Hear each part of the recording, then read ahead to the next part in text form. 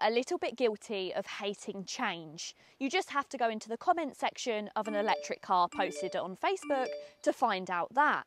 And that is exactly why there's so much excitement over the new Honda Civic Type R.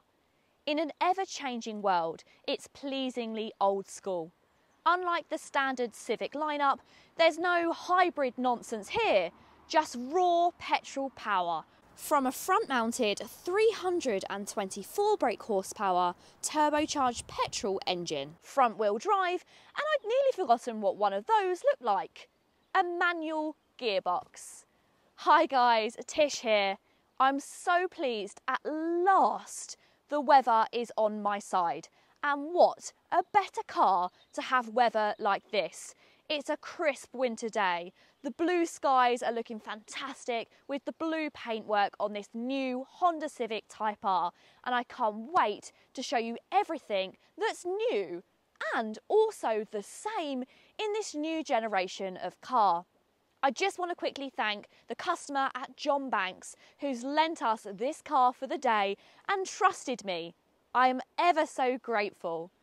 If you want to find out everything you need to know about the new generation of Honda Civic, then keep watching. And if you like new car reviews and car content, then this is the place to be. Hit the subscribe button.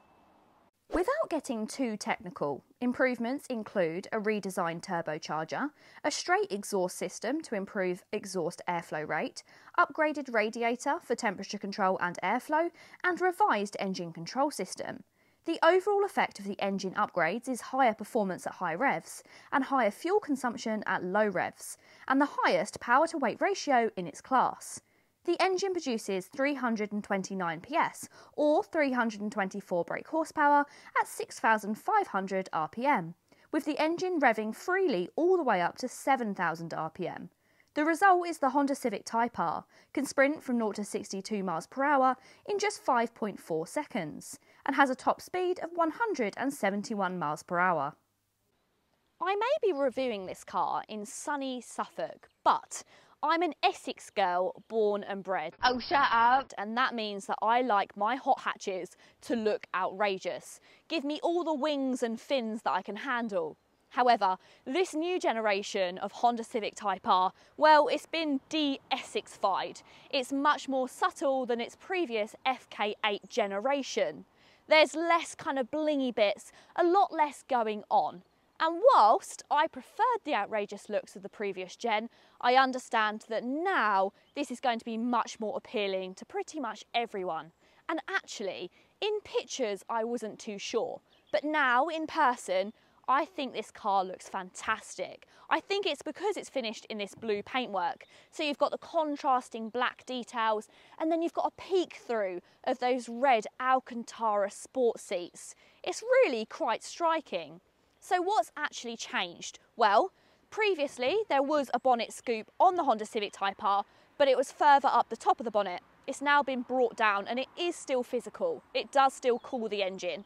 You've also no longer got that kind of gloss black bonnet bra and the lights are slightly lower set and they're in a new LED light signature. You've also got these gloss black air vents at the bottom, which aren't actually physical, they are just for show. The real air vents are a little bit further down round here and they work to cool the brakes when you're driving. It's got a slightly wider grille as well, although it is very marginal. And again, that's to really suck all that air into the intercooler. Moving around to the side of the car, the wheels have slightly shrunk, which again, I don't usually agree with. I like big alloy wheels, but actually they still suit this car really well. Finished in a matte black design, you've also got red Brembo brakes, just contrasting. I really love all the contrasting colours on this vehicle. This is the colour that I would have it in. Honda have worked really hard to make this new generation of car both lighter and also more aerodynamic. As you can see, there's a little vent here which sends all of the air past this little groove on the side skirt and past the rear tyres. So it's far more aerodynamic than its predecessor. But don't worry, all the best styling bits of a Honda Civic Type R are still here. You still get a massive rear gloss black wing. And of course, at the bottom within the gloss black diffuser, you've still got that centre mounted triple exhaust system. But I know what you're thinking. What does it sound like?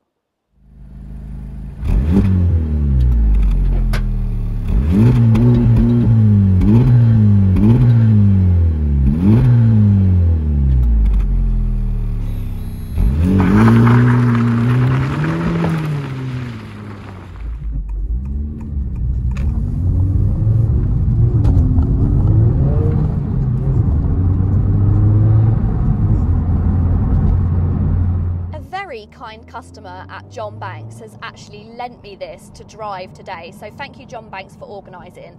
And I can't believe that not only is this my first ever drive of the FL5, like lots of people, but it's actually my first ever drive in a Honda Civic Type R. I can't believe that I've just admitted that. It feels like something that could have me kicked out of the auto industry. And I also apologise to all the people that work at John Banks that didn't get to drive this before me. The fun thing about this car is it feels like a modern day classic. You've got all the comfort and convenience of a brand new car, but then you've got that manual gearbox. Driving a proper manual car nowadays has become a bit of a novelty, and this gearbox is as good as it gets. The old car wasn't exactly lacking in this department, but amazingly, Honda's engineers have managed to remove what tiny bit of slack there was, making movements between the ratios feel more positive and engaging. The limited slip differential is also working away on the front axle to reinforce these qualities too.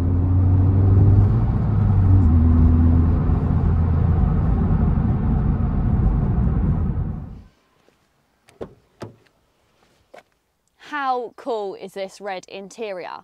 The floors are definitely giving me vintage vibes and these bucket seats are so soft.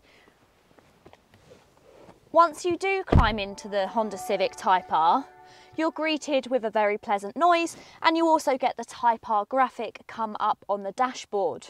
These seats hug you in quite tightly. In fact, I think if you was a slightly bigger person, you might struggle to get comfortable in these seats. And don't even attempt to get in and out because even I find that a little bit tricky. But I think that's all the fun that comes with a car like this. It has its compromises, but it looks fantastic. You've got the new setup which has come across from the Honda Civic in the general lineup and it was not one of my favourites. I'm really not a huge fan and I'm still not a huge fan of this chicken wire. I seriously do not know what they were thinking. It's a real shame. I feel like I'm being quite biased when it comes to this car because I've loved everything so far, but nothing could make me love the chicken wire. I do, however, love the little plaque that you get on the dashboard that tells you what model number your vehicle is. That's really nice and that is a bit of Honda Civic Type R history as well because I'm pretty sure a lot of the other models had that too. It now gets the brand's new infotainment system. And this system, it's okay. It's not without its issues. I don't think it's particularly the brightest or the largest. However, it does the job. And I think in a car like this, that's exactly what you want. You get Apple CarPlay, Android Auto, and it's also wireless as well, which makes it handy. And you've got a wireless charging pad up front too. Now, one of the things that is an addition in this new car is a new customizable driving mode, which is great. So this is your custom mode, and then into the settings on here, you can change everything. You can have this car set up for your perfect drive, which I love. This steering wheel is lovely as well. I've forgotten what it feels like to have an Alcantara steering wheel. It's a little bit different. You've got the red stitching around the centre, but it just feels really soft, as well as these seats. They're all really, really soft. And you've got the red seat belts as well, just like in my Lupo GTI. It's just all these little touches that make this car feel really special. I'm not so sure about this kind of fake um, carbon fibre down the centre console, but I really am nitpicking at it now. And I love the little gear selector as well. That's now finished in a brushed aluminium and you've also got chrome um, pedals as well, which is new. As before, you can download the R-Log app for your Type R, but this information is now also in the touchscreen, great for use on and off track. In data log mode, acceleration, braking and cornering g-force data is collected and combined with the GPS location mapping to provide a comprehensive lap overview. The colour-coded lap trace allows users to recognise and improve on their braking points and throttle position at all points of the circuit.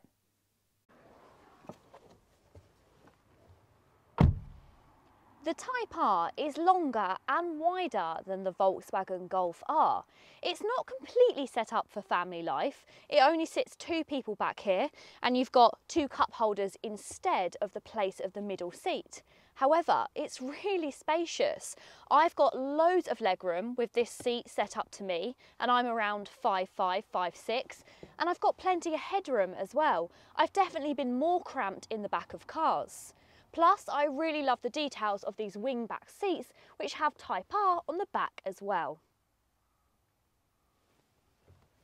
It does feel stiff, mind. The new Honda Civic Type R is 35 millimetres longer in its wheelbase. And while it's ultimately the same platform that underpinned the outrageously good FK8 Honda Civic Type R, the suspension has actually been changed, it's all new, and the new car is now more rigid and a touch lighter, thanks to a new bonnet and also a plastic boot lid. 324 brake horsepower is a hell of a lot of power in a front wheel drive car, but the Type R does surprisingly well in deploying the power smoothly, helped by a set of bespoke Michelin compound tyres designed to cope with the heavy burdens placed on the front axle during performance driving. Just like the outgoing car, torque steer is kept to an impressive minimum. In fact, because I haven't driven the previous generation car, the closest thing that I can compare this to is the Hyundai i30N. And unlike that car that wanted to spin its wheels constantly, the Honda Civic Type R feels much more stuck to the road, which is definitely a good thing when you've got so much power.